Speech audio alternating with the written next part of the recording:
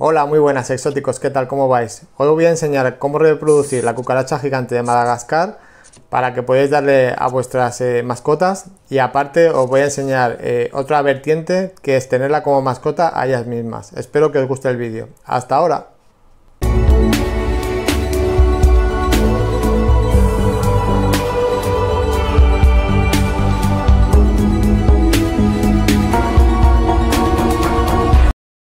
Vamos a empezar con el montaje, en este caso es un tupper transparente.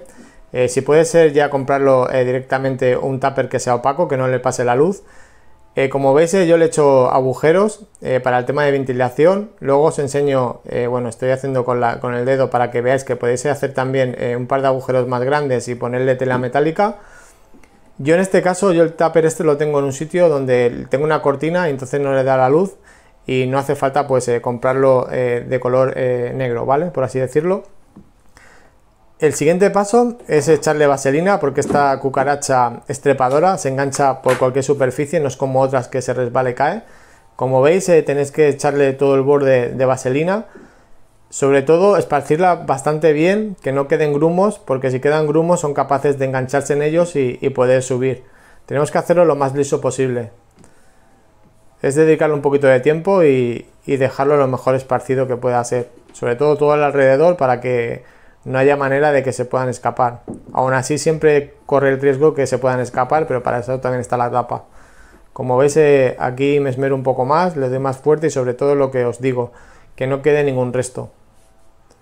Lo siguiente paso sería el ponerle hueveras de manera eh, verticales esto también lo que hace que la cucaracha se meta dentro, eh, al ser un sitio transparente, por ejemplo, que sería este tupper, ellas se esconden ahí dentro y ya no le da la luz. De todas maneras, como os digo, eh, en el sitio donde yo las mantengo no, les tengo luz. Tengo pensado cuando empiecen a criar eh, más cantidades más grandes, lo pasaré todo y todos los recipientes serán completamente negros, que ya los tengo mirados. Bueno, así sería más o menos como debe quedar. El siguiente paso que, voy a hacer yo es, ponerle lo que es la comida, lo que es la base.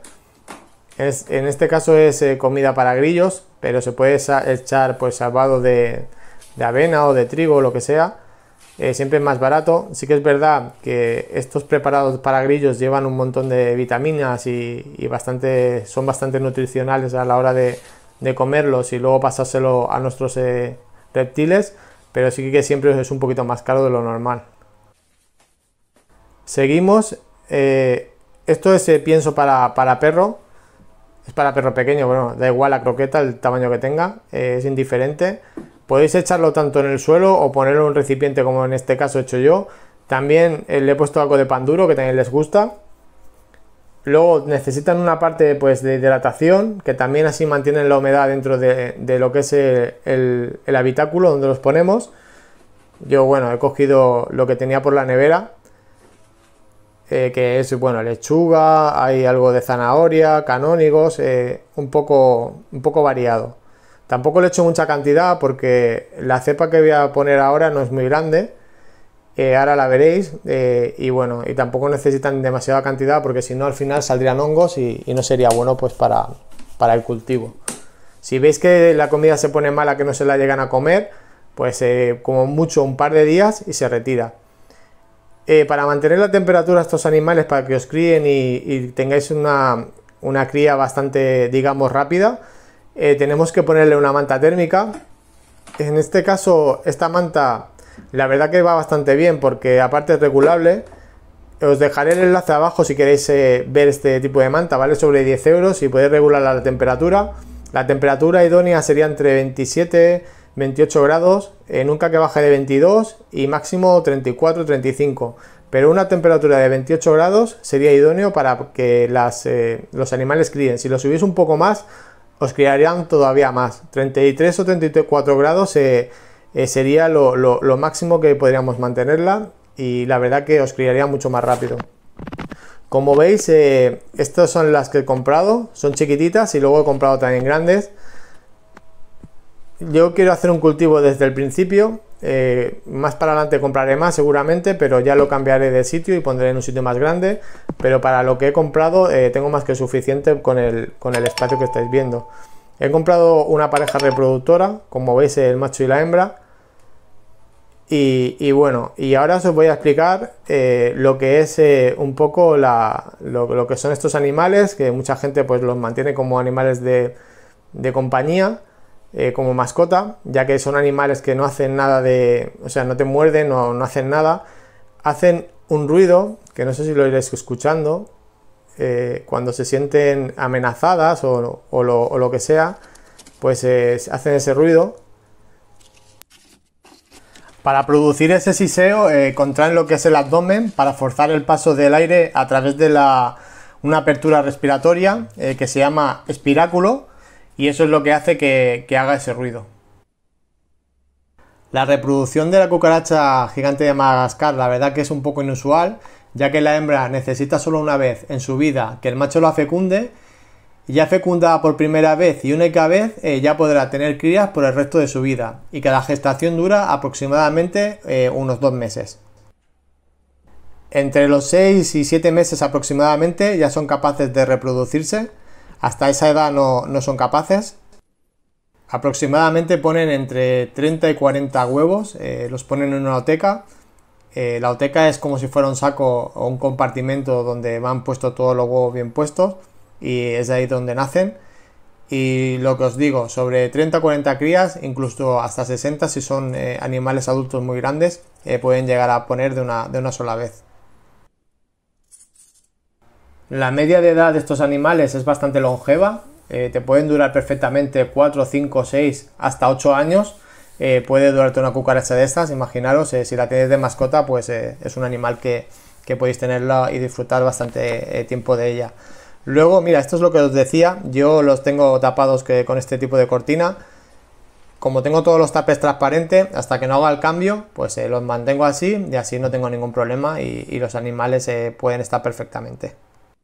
La diferencia entre el macho y la hembra en animales adultos es bastante fácil porque el macho tiene como dos cuernos eh, pronunciados en el pronoto, que digamos que es la cabeza, además de las antenas más gruesas y grandes que la de la hembra.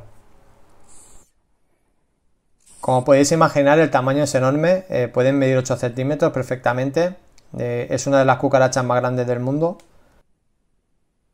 Haciendo un resumen rápido, eh, la temperatura entre 26 y 28 grados sería lo correcto, hasta 33, si queremos criar a, más velocidad. Luego, el hecho de la humedad con lo que le ponemos de alimento, por ejemplo, lo que es la fruta o lo que es la verdura, ya tiene más que suficiente. Si, le ponéis verdura a diario, no hace falta ponerle ningún recipiente con agua para que ellas beban, con eso tienen más que suficiente. Si vemos que la verdura se pone mala, eh, pues se retirará para que no tengamos y tengamos problemas luego con nuestras cucarachas. Les encanta la fruta, pero pensar si le echáis mucha eh, fruta, pongamos plátanos, eh, peras y todo eso, luego van a comer nuestros reptiles y, el exceso de azúcar en reptiles ya sabéis que no es muy bueno. Pero si es solo para engordarlas, para tenerlas durante un tiempo que se hagan grandes, no hay ningún problema porque luego cuando se lo demos a nuestros reptiles ya habrá pasado mucho tiempo y no tendrán pues, eh, ese exceso de azúcar. Más cosas sobre ellas, el, el tema de la comida de perros para el tema de proteína es importante también. A la hora de darle eh, este tipo de cucaracha a nuestros reptiles, pensar que los tamaños estos grandes de 6, 7, 8 centímetros no es válido para cualquier reptil, ya que el exoesqueleto de, este, de esta cucaracha es bastante dura y no podrían comérselo y podemos hacer que se atragante nuestro reptil. Digamos que patejús o, o, varanos y todo eso, eh, animales grandes eh, que, que no tienen ningún problema a la hora de pasarse presas grandes, se le puede dar perfectamente y, les aporta pues e, ese aporte proteínico que es bastante alto en el, tema de esta cucaracha pero por ejemplo para pogonas o geckos o, otro tipo de, reptil más pequeño eh, pues les daremos eh, lo que son las crías hasta un máximo a lo mejor de, la L que sería el tope para, este tipo de, medio reptil de, de un tamaño medio vale si os decidís a tenerlo como mascota, es una perfecta mascota. Eh, cada uno eh, tiene lo que quiere como mascota. Eh, como os digo, no es un animal nada agresivo, ni os morderá ni nada. Se hizo muy famoso con la película de Men Black. ¿Os acordáis de las imágenes de las cucarachas aquellas gigantes? Pues a raíz de ahí se hizo famoso en el tema de las mascotas, aparte de otras películas. Bueno, ya solo así a modo de reflexión, eh, quiero decir que cualquier animal, eh, sea cual sea, eh, no es asqueroso. Estoy seguro que muchos de vosotros estaréis pensando y dejaréis mensajes sobre qué asqueroso es ese, tipo de animal. Es más que nada cada uno como ve la vida. deciros que el ser humano nos dejamos llevar por lo que hacen los demás nos seguimos en un patrón, eh, ese patrón eh, desde pequeños nos inculcan que las cucarachas, las ratas son asquerosas eh, y muchas veces no nos paramos a averiguar si verdaderamente ese animal es tan asqueroso como dicen o como, o como cuentan. Yo en mi caso lo que sí que tengo claro, que por ejemplo si vuelvo a tener algún día otro niño chiquitillo, les inculcaré que, los animales son lo que son pero no les eh, haré que tengan ningún prejuicio con ningún animal. Con eso quiero decir que si, por ejemplo, un niño pequeño lo coges desde pequeñito y le enseñas a este animal como si fuera algo maravilloso, eh, podría ser igual de, maravilloso para él que un gatito recién nacido, eh, sin dejarse llevar por lo que la sociedad manda y dicta, ¿vale? Esa es mi forma de pensar y bueno, y espero que, os guste la reflexión y el vídeo y os ayude pues eh, a la hora de, mantener este, este, estos ejemplares en vuestra casa. Hasta luego, adiós.